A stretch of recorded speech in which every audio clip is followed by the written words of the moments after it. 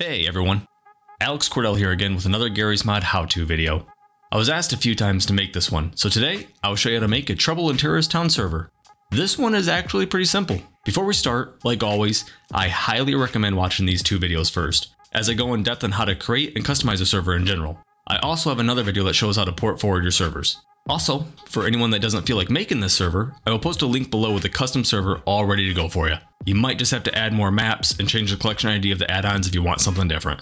I also want to note really quick that my subscriber to not subscriber ratio is super low. And if I helped you with any of my how-to videos or if you like any of my other videos, to please hit that subscribe button, as it will help my future here on YouTube and keep me wanting to make more videos for you. Alright, now let's get started. First, like always, you'll want to create a new folder for your server, and download and place the SteamCMD file in there. I will leave links to everything needed in the description below.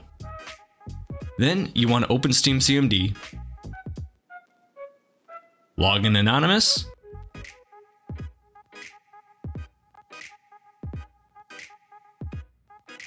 app underscore update 4020 validate, and wait for the basic server to be downloaded.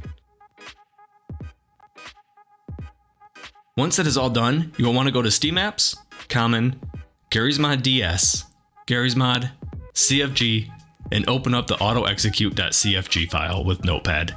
If there is no auto execute file, just create a new text document and name it auto execute and change the file extension to CFG.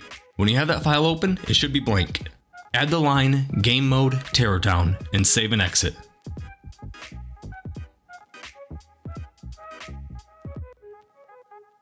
Now, go back to your Garry's Mod DS root folder and create your start.bat file.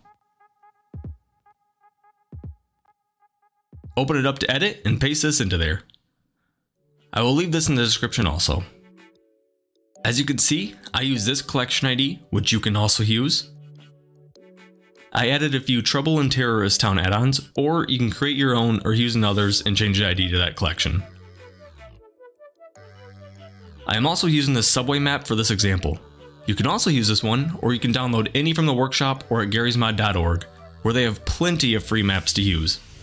Just search TTT and sort by map. You may also want more than just one map in your server, just add them all to your map folders. Once you are done, file, save, and exit.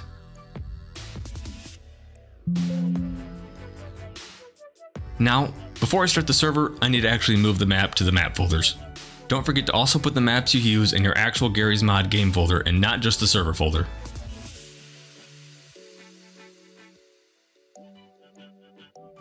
Now, you may open the start.bat file and everything will download. Once you see the VAC secure mode is activated, your server is up and running and you can now open up Garry's Mod and have fun. Don't forget to port forward so that your internet friends may also join. However, there is no need to port forward if you just want a LAN server. Well, that was all for today's video, short and sweet. I hope this video helped you make your own Trouble in Terrorist Town server, and if you have any questions, don't hesitate to leave me a comment below. Also, don't forget to subscribe and like the video if I was helpful. It's the only thing I ask for in return of making these how-to videos for everyone. Thank you so much, and as always, see you in the next one.